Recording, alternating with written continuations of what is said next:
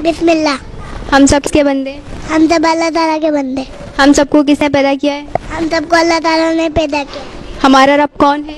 हमारा रब अल्लाह ताला है। हमारा दीन क्या है? हमारा दीन इस्लाम है। मुसलमानों पर कितनी नमाजें फ़र्ज़ हैं? पाँच। नाम बताएँ। फजर जोहर असर मगरिब इशा। मुसलमान मर्द नमाज़ पढ़ने कहाँ जाते हैं? मस्जिद में। अल्लाह अकबर के क्या मायने हैं? अल्लाह सबसे बड़ा है। अल्लाह ताला कब से है और कब तक रहेगा? अल्लाह ताला हमेशा से और हमेशा तक रहेगा। इस कायनात का निज़ाम किसके हुक्म से चल रहा है? इस कायनात का निज़ाम अल्लाह ताला के हुक्म से चल रहा है। इस कायनात का खालिक व मालिक कौन है? अल्लाह ताला। मुसलमान किसकी इबादत करते हैं? मुसलमान अल्लाह ताला की इबादत करते हैं। अल्लाह ताला की नेमतों का शुक्र अदा हम किस तरह कर सकते ताला की इबादत कर कर दिन और रात किसने बनाए अल्लाह ताला ने। क्या अल्लाह ताला का कोई शरीक है? नो ठीक है अरकान इस्लाम कितने हैं? नाम बताएँ।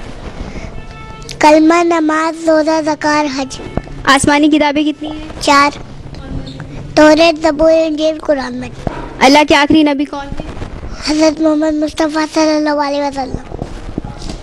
हज़रत मोहम्मद मुस्तफ़ा सल्लल्लाहु अलैहि वसल्लम किस महीने की किस तारीख को पैदा हुए? रबीउल अव्वल की बारह तारीख को पैदा हुए। हज़रत मोहम्मद मुस्तफ़ा सल्लल्लाहु अलैहि वसल्लम किस दिन पैदा हुए? पीर के दिन। हज़रत मोहम्मद मुस्तफ़ा सल्लल्लाहु अलैहि वसल्लम ने छः साल तक कहाँ परवरिश पाई दाए हलीमा। हज़रत मोहम्मद मुस्तफ़ा सल्लल्लाहु अलैहि वसल्लम ने कितने साल की उम्र में नबूत का ऐलान चालीस साल की उम्र। औरतों में सबसे पहले आप पर ईमान हज़रत खतीजा। हज़रत खतीजा कौन थी? हज़रत खतीजा अपने नबी की बीवी थी। मर्दों में सबसे पहले आप पर ईमान कौन लाए? हज़रत अबू बकर। हज़रत अबू बकर। कुरान पाक के कितने सिपारे तीस। मुनकर नकीर कौन है? दो फरिश्ते जो मरने के बाद कब्र में सवाल पूछने आते हैं। फरिश्ते कौन है? अल्लाह ताला के नूरानी मखलूक सच बोलना कैसी आदत है?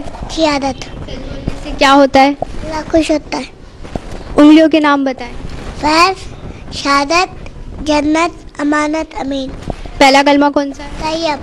पहला कलमा तैयब दूसरा कलमा शहादत तीसरा कलमा तमजीद चौथा कलमा तोहिद पांचवा कलमा तकबर छठा कलमा रातिक हर काम शुरू करने हर काम करने के बाद क्या कहना चाहिए? शुक्र अल्हम्दुलिल्लाह।